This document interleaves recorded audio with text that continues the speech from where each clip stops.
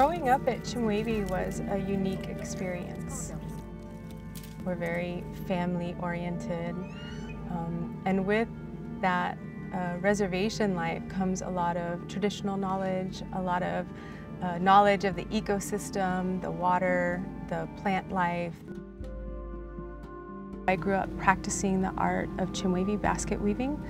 The Chemehuevis were known for the beauty and the artistry of their baskets.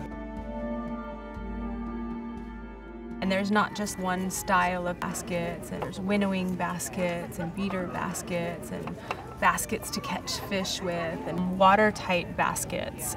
But really, around the turn of the century, they began to just become collector's items form of Chemehuevi. And each of the people that you see here today, most of them have an incredible basket weaver in their lineage. We work in particular with plants found along the Colorado River which are willow and devil's claw. This is devil's claw, and it's the the black in the baskets that create the designs in the basket. So we're just sorting it. Go get your shirt on. The seeds, the seeds are edible.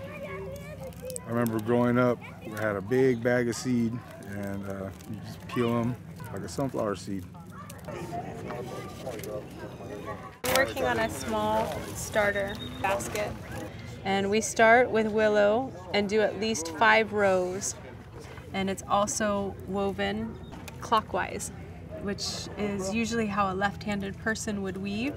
And that's how you, oftentimes collectors will know it's Chemehuevi because it goes clockwise, like time. So I've done with the willow and the design work is done in devil's claw. And we get it a little bit wet so that they will bend with the curve of the basket and then we'll wrap with the devil's claw.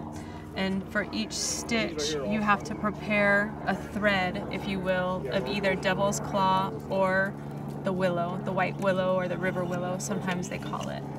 Uh, to create the uniform stitch that Chemehuevis are known for, you pull them through these old tins, which when you poke a hole on them on the other side becomes very sharp and you can size the piece down. So you get it wet and you pull it through. And then you go to the next size down and you pull it through and you'll begin to shave the pieces off. And you size it down continuously until you have the same uniform stitch as you had with all of the other ones. I don't know what they used before the metal tins but uh, they've been using these for at least, you know, over a hundred years. So I hope the tradition survives. But there's not very many basket weavers left.